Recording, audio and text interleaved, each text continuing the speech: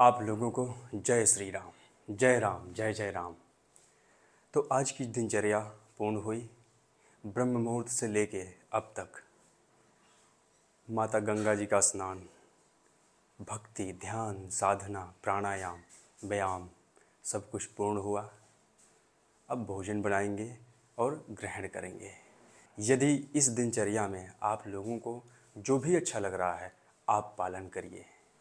अपनी दिनचर्या साझा करने का हमारा यही उद्देश्य है कि आप लोग भी अपनी दिनचर्या को अच्छा बना सकें। तो चलिए, आप लोग मेरे साथ साथ मिल के बोलिए, सियावर रामचंद्र की जय, हर हर महादेव, जय शिव शंभो।